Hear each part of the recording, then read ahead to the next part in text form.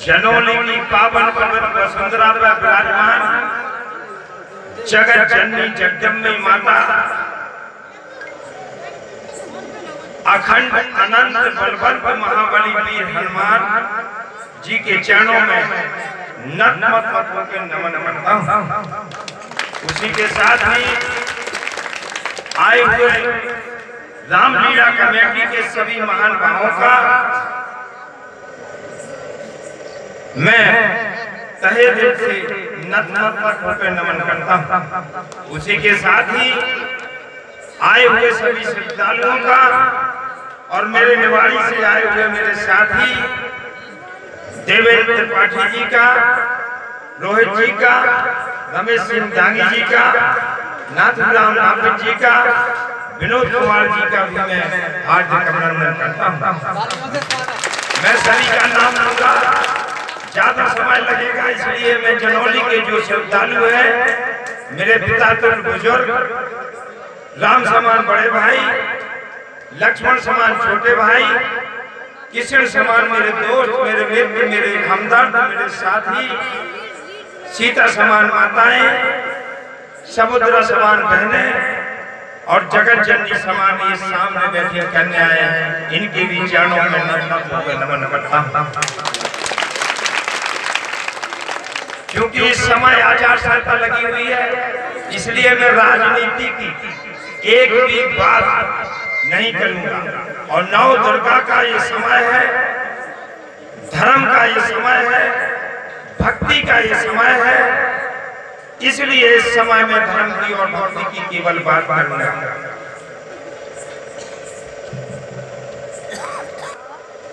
मानव जीवन का श्रेष्ठ महान मंत्र है। यही भगवान राम राजा, सरकार या मर्यादा पुरुषोत्तम भगवान श्री राम जी का संदेश है। जब हम रामलीला को देखते हैं तो एकदम से हमें ऐसे लगता है जैसे हम तीर्था में पहुँच गए और राम के चरित्र का जहाँ वर्णन हम देखते हैं तो ये रामलीला को देखने से बारह कोष जहाँ भी ये रामलीला होती है, उसके बारह कोष पूरब बारह कोष पश्चिम बारह कोष उत्तर बारह कोष दक्षिण।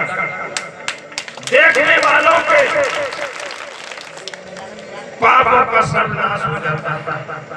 गाँव के एक एक गाँव में होना चाहिए। ताकि लोगों को भक्ति का और भगवान राम के आदर्शों का पता लग सके। रामलीला को देखने से हम राम तो नहीं बन सकते, लेकिन भगवान राम के भक्त ज़रूर बन सकते ये सौगंध लेके आपको मैं बात करूँगा धर्म की। धर्म की बात इसलिए करता हूँ, क्योंकि हम माँ को माँ कैसे मानते हैं? हम बहन को बहन कैसे मानते हैं? पिता को पिता कैसे मानते हैं? आचार को आचार कैसे मानते हैं? गुरु को गुरु कैसे मानते हैं? बेटी को बेटी कैसे मानते हैं? इसके पीछे बहुत बड़ा कारण छिपा होता है वो कोई कारण छोटा मोटा नहीं होता है। वो कारण होता है धर्म का। धर्म की जब बात मेरे अंदर से दो लाइनें निकलती हैं। तेज बिन सूर का चाँद बिन चाँद का खुशबू बिन फूल का अस्तित्व नहीं है। जल बिन ताल का बारिश बिन बरसात का धर्म बिना संसार का अस्तित्व नहीं है। मेरी बात को समझिए कि जिस दिन इस पृथ्वी से धर्म खत्म हो जाएगा, यहाँ प्रलय आ जाएगा, बेटी को बेटी नहीं माना जाएगा, बहन को बहन नहीं माना जाएगा, हम सब पशु योनि में पहुँच जाएँगे। इसलिए इस रामलीला से जाने से पहले सभी श्रद्धालुओं को भक्त गणों को ये सौगंध लेके जाना है कि आज के बाद हम कभी धर्म से दूर नहीं होंगे, बल्कि धर्म पे ज़िंदगी भर चलते रहेंगे।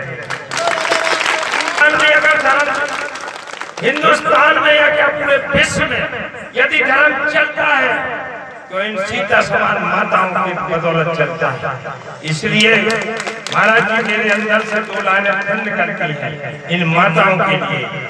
आँखों की ज्योति करुणा की देवी, ममता की मूर्त होती है नारियाँ। ये नारी शब्द मैंने इसलिए लिया है कि जिसके आत्मा में साक्षात नारायण का वास हो, उसे नारी कहते हैं।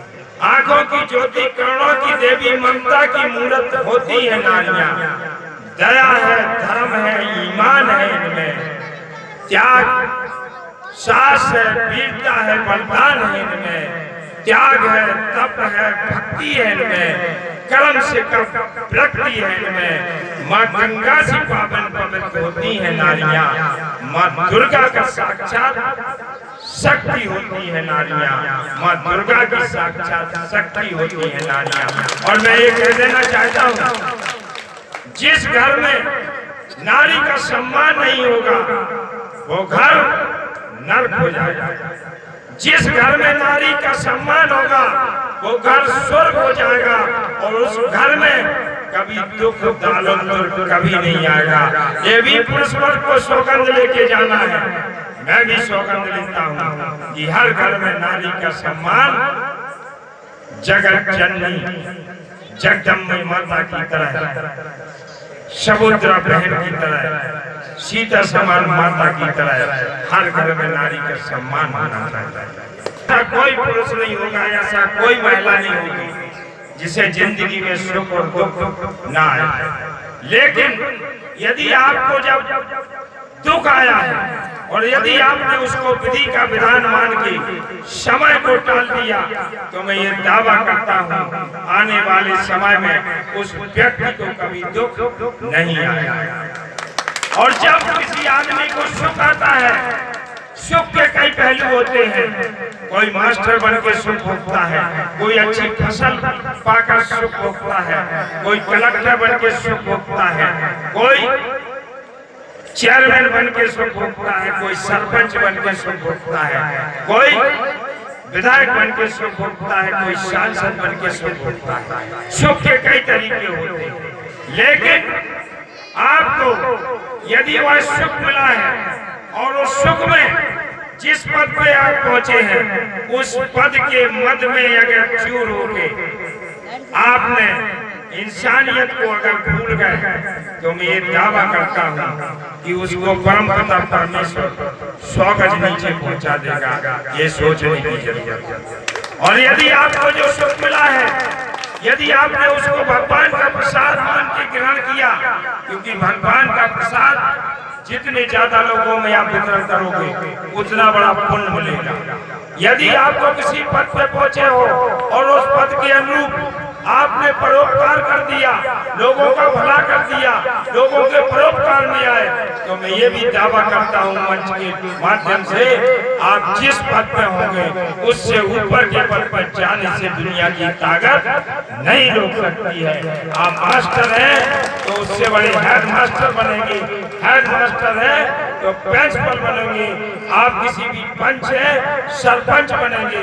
कोई भी पद हो फ़सल आपकी अगर अच्छी होती है, उससे दस गुनी होगी।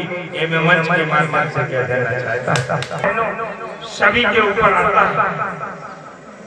और मैं पुनः कर देना चाहता हूँ, ऐसी रामलीला केवल चुनौली में हो रही है तो बहुत अच्छी बात है।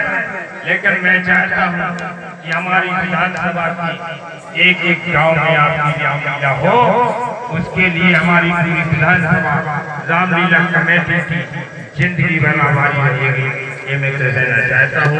और अंत में मैं अपनी बात को खत्म करूँगा, उससे पहले मैं कह देना चाहता हूँ, जनौली के अलग सिंह जी राजपूत या उनके साथी, जिन्होंने मुझे से नाचीज को बुला के रामलीला के और मुझे बोलने का जो सुवसर दिया है, उसके लिए रमेश लाला ज़िंदगी की आखिरी सांस तक जनौली की कमेटी का आभारी रहेगा ये मैं आप लोगों को बीच में देना चाहता हूँ। और अंत में जगदम्बे माता, तुम्हारे नाम से हर काम करता हूँ। आए हुए सभी भक्तगणों को हाथ जोड़कर प्रणाम करता हूँ। जगत जननी की कृपा से, जगत जननी की कृपा ने निराला को समाना है। इसलिए अपनी ये ज़िंदगी जगत जननी जगदम्बई माता के नाम करता हूँ। ये ज़िंदगी जगत जननी जगदम्बई माता के नाम करता हूँ। करोड़ों राजा सरकार की